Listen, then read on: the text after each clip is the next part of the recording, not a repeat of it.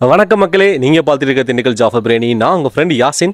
ரொம்ப நாளுக்கு அப்புறம் ஒரு லாங் வீடியோங்க ஆக்சுவலாக ஒரு லாங் வெக்கேஷன் எனக்கு கிடச்சிது. அது நிறைய ஃபுட் எக்ஸ்ப்ளோர் பண்ண சொல்லிட்டு நிறைய பிளேஸ் நான் போனேன்.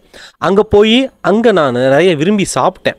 அந்த சாப்பிட்ட டிஷஸ் எல்லாமே ஒரு வரக்கூடிய வீக்கில் நான் உங்களுக்கு போஸ்ட் பண்ண போகிறேன் ஸோ நான் என்ன ஆக்சுவலாக பிளான் பண்ணியிருக்கேன்னா ஒரு வீக்லி ஒன்ஸ் வீடியோ ஒரு பிளான் பண்ணியிருக்கேன் அது எல்லாமே கொஞ்சம் டீட்டெயில்டாக இருக்கும். இன்க்ரீடியன்ஸ் எல்லாமே நான் உங்களுக்கு டிஸ்கிரிப்ஷன் பாக்ஸில் கொடுத்து நீங்கள் ட்ரை பண்ணி பாருங்கள் பட் பிலீவ் மீ எல்லா டிஷ்ஷும் சூப்பராக இருந்தது. இன்க்ளூடிங் ரசம் முதற்கொண்டு எல்லாமே அப்கமிங் வீக்ஸ் வீக்ஸில் வரும் உங்களுக்கு. இன்றைக்கி பார்த்தீங்க அப்படின்னா நான் ஒரு ரெஸ்டாரண்ட்டில் சாப்பிட்டது ஒரு கேரளா ரெஸ்டாரண்ட்டில் சாப்பிட்டது. அது பார்த்தீங்க அப்படின்னா சிக்கனை வச்சு ஒரு ரோஸ்ட் மாதிரி பண்ணியிருந்தாங்க. ஃபுல் ட்ரையில் பட் நான் சாப்பிட்டதே ஒரு பெஸ்ட்டு சிக்கன் ரோஸ்ட்னு சொல்லுங்கள் ரொம்ப ரொம்ப ரொம்ப சிம்பிளான ரெசிபி சிம்பிளான டிஷ் உங்களுக்காக.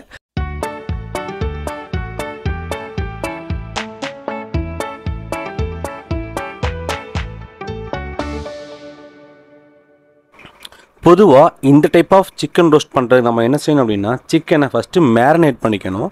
சிக்கன் ஒரு டூ டைம்ஸ் கலந்ததுக்கப்புறம் ஒரு ஹாஃப் ஸ்பூன் மிளகாத்தூள் ஒரு கால் ஸ்பூன் அளவுக்கு மஞ்சத்தூள் சிக்கன் சாஃப்டாக இருப்பதற்காக ஒரு அரை லெமன் ஒரு அரை ஸ்பூன் அளவுக்கு சால்ட் இதை மட்டும் போட்டு மிக்ஸ் பண்ணிக்கணும். இதில் எக்காரந்த கொண்டு இஞ்சியோ பூண்டோ போட தேவையில்ல. இந்த மாதிரி ட்ரையாக இருக்கணும்.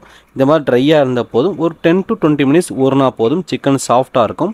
இதுக்கப்புறம் மசாலா ப்ரிப்பரேஷன் பார்த்தீங்கன்னா ஒரு ஒன்றரை ஸ்பூன் அளவுக்கு மல்லி முக்கால் ஸ்பூன் அளவுக்கான பெப்பர் அரை ஸ்பூன் அளவுக்கான சோம்பு அரை ஸ்பூன் அளவுக்கான சீரகம் ஒரு கைப்பிடி அளவுக்கான கருவேப்பிலை ஒரு கைப்பிடி அளவுக்கான மல்லித்தலை இதெல்லாம் சேர்த்து நம்ம என்ன பண்ணோம் அப்படின்னா லைட்டாக பொன்னிறமாக வர அளவுக்கு வறுத்ததுக்கப்புறம் ஒரு அஞ்சு நிமிஷம் காய விட்டுட்டு நம்ம பவுடர் அரைச்சி வச்சுக்கணும். இப்போ நம்ம மசாலா ரெடி பண்ணிடலாம். அதுக்கு பார்த்தீங்கன்னா ஒரு மூணு ஸ்பூன் அளவுக்கான ஆயில் அதில் அரை ஸ்பூன் அளவுக்கான கடுகு உளுந்த பருப்பு அதில் ஒரு கைப்பிடி அளவுக்கான கருவேப்பிலை. இங்கே வந்து பார்த்தீங்கன்னா பூண்டு வந்து ஒரு பதினஞ்சு பல்லு பூண்டு ஒரு ஒரு ஐம்பது கிராம் அளவுக்கான இஞ்சி. பூண்டு கணக்கு வச்சிங்கன்னா எழுபத்தஞ்சு கிராம் அளவு வச்சுக்கோங்களேன். இது நைட்டாக பொன்னிறமாகிற அளவுக்கு வறுத்ததுக்கு அப்புறம் நம்ம மேரினேட் பண்ணி வச்சிருக்கக்கூடிய சிக்கனை இதெல்லாம் போட்டுடணும். பொதுவாக சிக்கன் போட்ட உடனே நம்ம தண்ணி ஊற்றக்கூடாதுங்க சிக்கன்லேருந்து தண்ணி நிறையா வெளியே வரும். ஸோ அதனால் ஒரு ரெண்டு நிமிஷம் லைட்டாக ஹீட் ஏற பரட்டி விட்டுக்கிட்டே இருக்கணும். அதுக்கப்புறம் தான் நம்ம தண்ணி பத்தலாம் ஆட் பண்ணிக்கலாம் இல்லைன்னா விட்டுறலாம் நம்ம இங்கே ரோஸ்ட் பண்ணுறதுனால அது தண்ணி வர வரைக்கும் கொஞ்சம் வெயிட் பண்ணுவோம். இதுக்கப்புறம் பார்த்தீங்கன்னா நம்ம அரைச்சி வச்சுருந்த அந்த பவுடரை ஃபுல்லாக ஆட் பண்ணிடலாம். இதுக்கப்புறம் நம்ம கரம் மசாலா பவுட்ரு ஆட் பண்ணலாம். கரம் மசாலா பவுட்ரு பார்த்தீங்கன்னா ஒரு முக்கால் ஸ்பூன் அளவுக்கு இது நம்ம ஆல்ரெடி வீடியோவில் போட்டிருக்கோம்.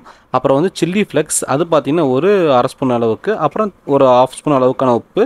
இப்போ நான் வெங்காயம் பார்த்தீங்கன்னா ஒரு ரெண்டு பெரிய வெங்காயம் எடுத்திருக்கேன். அதாவது நூறு கிராம் அளவுக்கு எடுத்திருக்கேன். இது நான் எண்ணெயிலே போட்டு வதக்காமல் இப்போது சிக்கன் போட்டதுக்கப்புறம் போட்டால் அதோடைய ஃப்ளேவர் நல்லாயிருக்கும். அவ்வளோதாங்க எல்லா மசாலாவும் முடிஞ்சிருச்சு. இது நல்லா ட்ரை ஆகணும்.